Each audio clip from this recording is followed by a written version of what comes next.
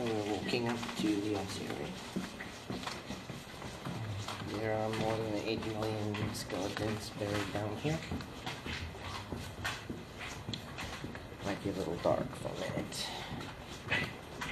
And we should have some light. This is an upward path.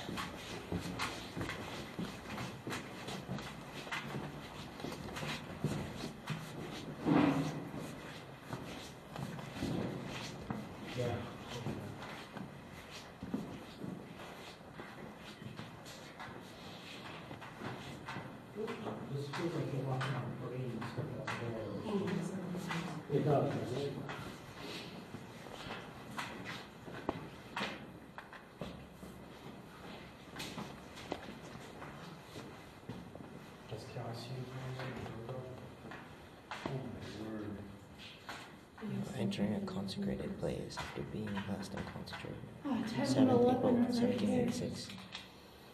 The catacombs accommodate bones from the Cemetery of Innocents.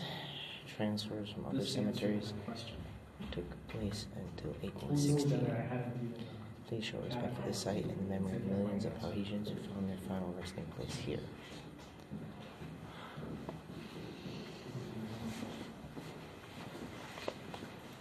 oh.